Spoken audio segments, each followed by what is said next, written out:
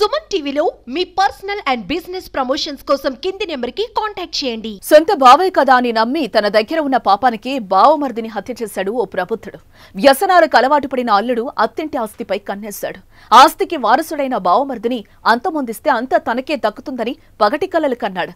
బావమర్దితో నమ్మకంగా ఉంటూ హత్య చేసి సూసైడ్ అంటూ దొంగ నాటకాలు ఆడాడు. పోలీసుల ఎంట్రీతో అసలు కథ బయటకొచ్చింది.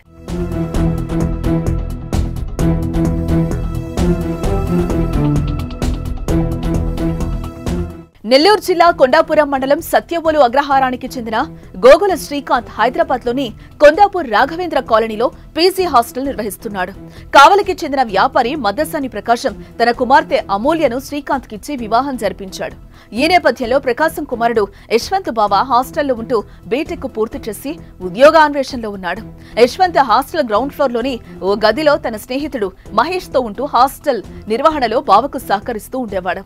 అయితే శ్రీకాంత్ వ్యసనాలకు అలవాటు పడి నాలుగు కోట్లకు పైగా అప్పులు చేశాడు. ఈ అప్పులు తీర్చేందుకు భారీ ఆస్తిపై కన్నేశాడు శ్రీకాంత్. అయితే ఆస్తికి వారసుడిగా ఉన్న బావమర్దిని చంపేస్తే ఆస్తి మొత్తం తనకే వస్తుందని దీంతో అప్పులు తీర్చి జల్సాక బతకొచ్చని కుట్రపన్నాడు. అందుకు కర్ణాటక కర్వార్ జిల్లా అంజయ్యనగర్లో వంట పని చేసే ఆనంద్ హాస్టల్ సూపర్వైజర్ అంబటి వెంకటేశ్వరని సంప్రదించి హత్య కుట్రని చెప్పాడు. పది లక్షలు సుపారీ ఇచ్చి ఒప్పందం చేసుకున్నాడు. అడ్వాన్స్ కింద రెండు లక్షలు ఇచ్చాడు. ఇక రంగంలోకి దిగిన నిందితులు యశ్వంత్ను చంపేందుకు ప్లాన్ వేసుకున్నారు. గత నెల ఆగస్టు ఇరవై తొమ్మిదిన యశ్వంత్ ఉండే హౌస్ల గ్రౌండ్ ఫ్లోర్లోని సీసీటీవీ కెమెరాలు ఆఫ్ చేసి యశ్వంత్ స్నేహితుడు మహేష్ను బయటకి పంపించేశాడు.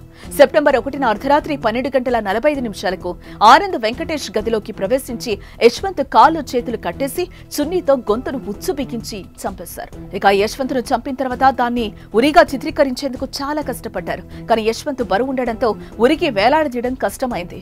దీంతో ఉరి నుంచి నుంచి దించుతున్నట్లుగా ఫోటోలు తీశారు. వ్యసనాలతో భావమర్ది ఆత్మహత్య చేసుకున్నట్లు అత్తమామలను శ్రీకాంత్ నమ్మించాడు.